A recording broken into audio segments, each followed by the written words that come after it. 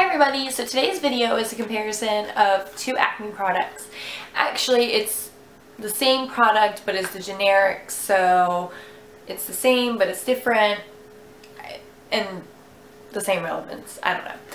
But the whole point of this was, was to kind of go over, a it was like a 30 day trial of this item before I went and spent another eight nine dollars on the same product basically. Because I was like well if I can use this one that only cost me four dollars and it's just as great as the eight dollar nine well eight to nine dollar product.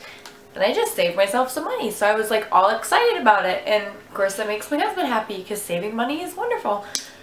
And well we'll get into that but I wanted to go over a little bit of thing uh, a little bit over a few things.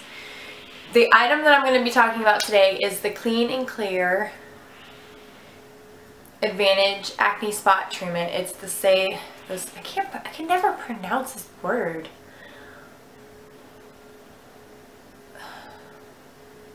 So, so I can't pronounce it.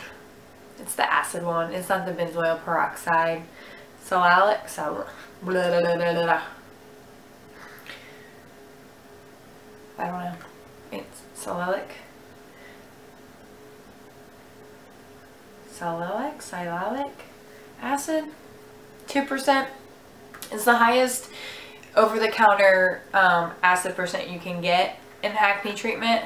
So that's part of why I originally purchased it. Now if you look, you can tell that it's like completely empty. There's like a little bit left.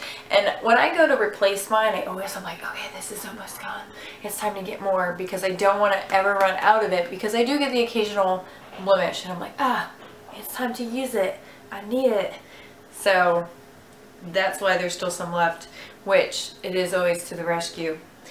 And the same, it's the same item for the Acne Spot Treatment Oil Free Up and Up brand. Kind of see it. And it looks the same. Kind of see it. Comes out. It's like the gel. Doesn't have a smell. Same percent. Says make sure expiration expires in February 2015. But anyways, I prefer, I pref prefer, I can't talk today. I prefer this one over the benzoyl peroxide because I have learned that I get a better and quicker result with the sialic, sialic, cannot pronounce that word to save my life at all, acid versus the peroxide benzoyl peroxide. And what I've learned in the research that I have found is that this product works from the inside out. So it dries, like if you have a pimple, it dries from the inside out versus the benzoyl peroxide, it basically dries from the outside in. So whatever works best for your skin. Now I do have like the Clearasil Persagel 10 I think it is I do have that. And sometimes that works for like the occasional like covered, like the ones that are the cyst pimples that don't get ahead. Those, it works for those, but nothing really works for those. You can hear my daughter in the background. She's obnoxious. But anyway, so the comparison of the two, it looks like this one would be bigger because the tube is shaped different. It's not as wide. And this one's a little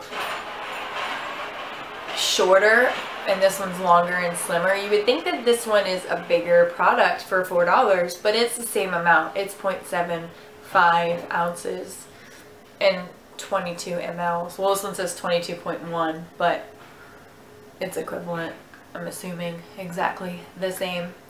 My overall opinion about it, this one is better. I don't know why. Maybe it's just a psychological thing about it, but I seem to notice a difference.